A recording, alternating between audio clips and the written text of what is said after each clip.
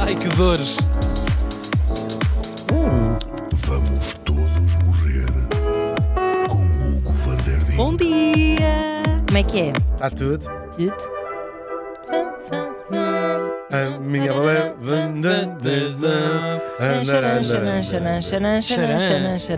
Porquê é que estamos a ouvir Tchaikovsky? Porquê? Então Vamos ver. Porque neste dia, em 1894, morria em Nice. Não é nice? Há pessoas que dizem nice. É Nisso é o nome da minha esteticista. É Nice? Sim. Nice. Mostra lá essas unhas. Ai, Nice, Nice. Mas estas não são da Nice. Está nice. Nice. Estas não são da Nice. Ah, Estas Nice. são da Mari. Ah, Nice. Muito bem. Ah, Ah, isto fica no sul de França. É uma cidade bem simpática no sul de França. Gostas de O Nice? que é que tens a dizer sobre nisso? Adoro, não tenho Ah, nada a dizer sobre gostas? isso. Não tens Nice. nada? Gosto de Nice. É um género assim. Não és uma- muito rural, não é? Um Mónaco Assim, dos pobres. Tá. Não, mas gosto bem. É uma zona muito gira para passar férias. Há zonas melhores ali perto de Nice. Não é mais giro, mas pronto, você é que sabe. Ela morreu em Nice. Ah, tinha 62 anos. Ah, não Oh, não, não vi isso. Nem curtiu a reforma naquele lugar. Coitadinha. Falamos da patrona das artes, Nadezhda von Meck. Nadezhda? Não, desde Ah, a desde. Von Mac, Vai desde patrona. onde? Até que, do Mecoa? Nadezhda. Ah, eu, por acaso, é uma mulher que eu adoro mesmo. Nadezhda. Ah, ela nasceu em 1831 em Smolensk, no então Império Russo, numa família benzinho, tinha assim bastantes terras. Ah, ela era uma mulher muito interessada, logo desde criança, em música, em literatura, em filosofia, também estava ali ah, tudo a borbulhar. Isto é, o- ela apanha a altura em que a cultura russa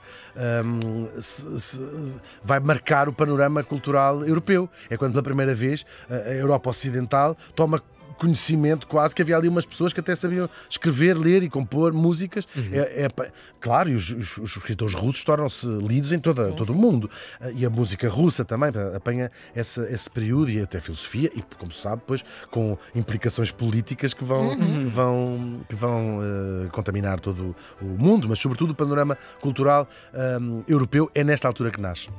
E, eh, ou seja, que, os, que os europeus, franceses, alemães, eh, espanhóis, whatever, têm. eu disse assim: é que, onde é que vocês apareceram? Que baixo de pedra? Não, não pode ser uma pedra. e então vamos lá saber como é que era a sua vida. Ela casa com um banana, ou um cunana também existe. Ver ao dicionário, cunana também existe. Banana é Cunana. uma palavra que está no dicionário. Ah, está mesmo, como, como um palhaço, um Uau. homem que não tem empréstimo nenhum. Sim, cunana. Ai, Também não conhecias? Conhecia perfeitamente, mas achava que tinha sido inventada assim.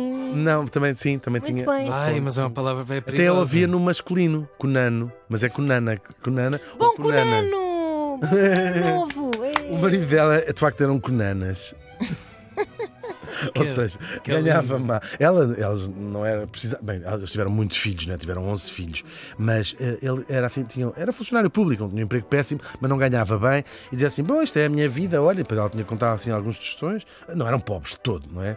Ahm, mas pronto, e ela passava-se assim: Mas tu não tens aspirações a fazer qualquer coisa? E ele: Ah, não, aquilo é bom, tinha, olha, depois reforme, e a gente. ela dizia, Tem um bom seguro. O homem só queria que não, não chateasse. era um bocadinho, mas ela revoltava-se um bocado com aquilo. Ela lia muitos jornais, era uma mulher muito informada e dizia assim: Olha, ah, está esta coisa dos caminhos de ferro vai se expandir. Arrebentar. Há uma linha, concorre esta coisa para construir não sei o quê. Pedimos um empréstimo aos meus pais, whatever. E ele, ai filha, mas depois tem que ir lá todos os dias. E ela, sim, vai. O que é que conclusão? Ela tinha toda a razão. Ele vai ser responsável por aquilo há uma explosão na construção de, de linhas de ferro eh, e ele vai ficar multi, multimilionário com a, ide- com a ideia dela, não é? E vai não só ficar multimilionário, como vai depois dar-lhe uma coisinha má um ano ou dois depois. Claro, com certeza. o homem melhor, só queria, O melhor dos dois só mundos. queria ter sossego.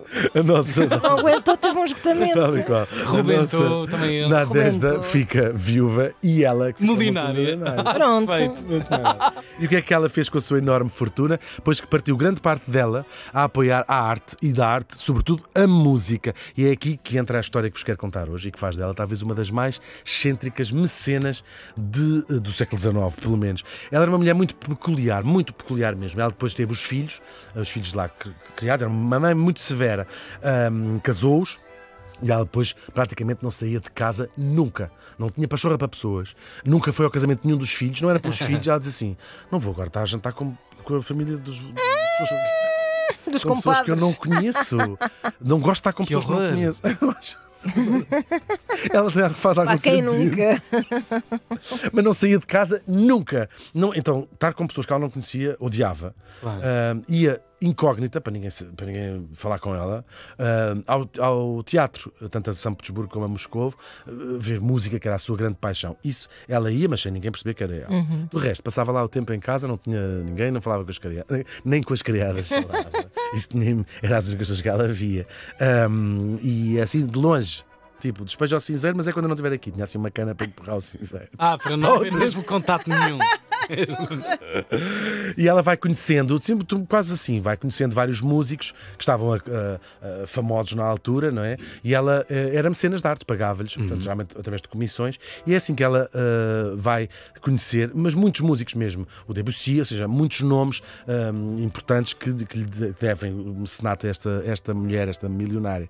Mas o seu patronato mais famoso, e aquele porque ela é lembrada ah, ainda hoje, e a maior marca que ela deixou culturalmente, era um, um jovem, não, não, não assim tão jovem, mas um jovem, chamado Piotr Ilyich Tchaikovsky, que estamos a ouvir precisamente o nosso Tchaikovskyzinha. E ao longo de 13 longos anos, ela apoiou financeiramente este compositor, de modo a que ele se pudesse dedicar só pela, pela música. As informações estão. ah, encontrei, ela pagava-lhe 6 mil rublos por ano. Para termos ideia, um funcionário público médio conseguia sustentar a sua família com 300 rublos. Portanto, isto era uma. pagava 6 mil. Para ele nem sequer dar aulas, portanto, para ele só se dedicar à música. Isto começa, ops, eh, isto começa com encomenda-lhe uma peça, depois encomenda-lhe outra, e depois assim, vamos fazer assim um acordo. Dou-lhe 6 mil rublos, ela dava-lhe todos os meses. E o menino fica só a fazer isto. Só compõe, Uau. e portanto, devemos-lhe. eh, São 13 anos a, a- a obra do, do Tchaikovsky. Só que ahm, tinha uma condição, que ela dizia, e é uma condição sine qua non, ficou escrita no contrato, isto quebra-se se você eh, se quebrar, é que os dois nunca se conhecessem.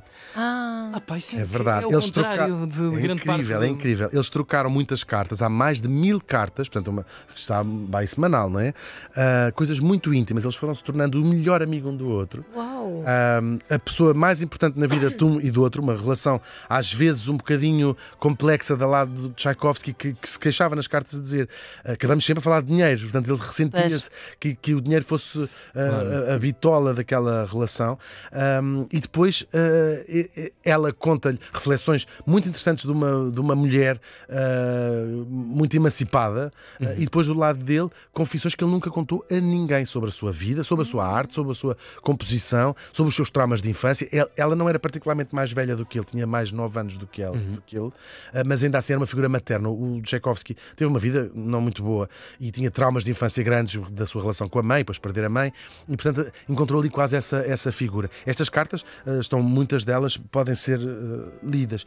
Ah, Que só bicho que ela era. que nunca se viram. A vontade. Nunca, nunca se viram, porque ela insistia, nunca p- pode ver, e assim, graças a este mecenato, ele tornou-se o, o- Quando falámos há pouco nessa tal russificação cultural da Europa, ele é o primeiro uh, compositor a dar esse pontapé, e graças a ele temos todos os natais num programa que aí ver. o Lago dos Cisnes e o Quebra- o Quebra-Cisnes e o Lago das Nozes. Houve duas pequenas exceções.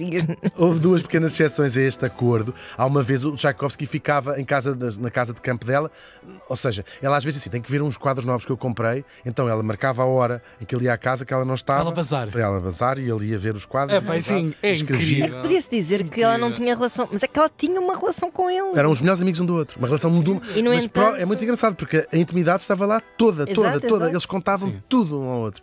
E então há um dia que ele está a ficar numa propriedade dela, não na mesma casa, mas numa propriedade dela, e ele atrasa-se no passeio matinal e cruzam-se eh, muito briefly, muito pouco tempo. Ele baixa-lhe só a cabeça e, nessa- e vai-se embora e escreve-lhe uma carta a pedir-lhe imensa desculpa eh, de terem quebrado o seu eh, acordo. Não se falaram de todo, ele baixou-lhe a cabeça só. E ela diz: Não há nada de pedir desculpa e ficou tudo bem. A carta dele a dizer: E Eu não depois- vi, eu não olhei, eu não olhei. Sim, não- tal e qual, porque era um acordo que eles tinham, não é? Ah, e depois há outra altura onde, e aí cre- acredita-se, no teatro, estiveram no mesmo foyer eh, ao mesmo tempo, não se olharam sequer e acreditam alguns amigos que foi ela que fez de, de propósito, porque queria eh, Ok. vê-lo, porque naquela primeira vez eventualmente não o terá, não o terá eh, visto bem. Até ahm, resolvem selar aquela amizade com um casamento duplo, portanto, uma eh, filha, um filho dela casar com uma sobrinha dele. O casamento casam, mas não corre bem, dão-se mal e isto vai marcar o fim desta, desta relação. A certa altura ela manda-lhe uma carta, a, a carta da véspera era super amorosa, e manda-lhe uma carta a dizer: Vou acabar o meu senato, este vai ser. Pagou-lhe um ano, 6 mil eh, rublos, é a última remessa de dinheiro. Eh, A desculpa que ela dá na carta é que estava falida, não por causa deste mecenato, por causa também de maus negócios, os filhos. É possível. Até hoje não, não se sabe bem a razão. Há quem diga que a pressão familiar, esta relação era um escândalo, era pública, toda a gente sabia, não é? As cartas do Tchaikovsky para aquela senhora. ahm, era uma mulher famosa também, não é? Mas que não tinham nenhum teor eh, Não, não, romântico, tinha- não é? Não sabia, as pessoas não sabiam o que é que dizia lá nas Mas cartas, ela, mas era muito viúva- estranho, era estranhíssimo. Pois. Era estranho. Eh, e até há quem diga, já é leituras a posteriori, ela tinha um- teve um problema num braço eh, e provavelmente ia ser incapaz de continuar a escrever e não confiava, queria. confiava a ninguém as cartas. Mas na altura, às vezes, ficavam estes mal entendidos para o resto da, da vida. Ele zangou-se um bocadinho, deixou de lhe falar, oh, nem sequer zangado, deixou de lhe falar, deixaram-se de escrever. Ahm, parece que ainda se reconciliaram já ah, um tempo depois, não, também não se tem a certeza. Ahm, e desta amizade ficou, para além da música do, do Tchaikovsky, uma sinfonia que ele dedicou particularmente ah, a ela. Ele vai morrer em São Petersburgo com pouco mais de 50 anos. Diz-se que de cólera, de uma água que ele bebeu. Outras pessoas dizem que ele se matou. Dois meses depois, quase certinhos, morria a sua amiga, a sua melhor amiga, palavras dele próprio, a pessoa mais íntima que ele teve, a tal milionária excêntrica, que ele só viu, e vagamente, duas vezes na vida. A Nadezhda von Meck morreu faz hoje 129 anos.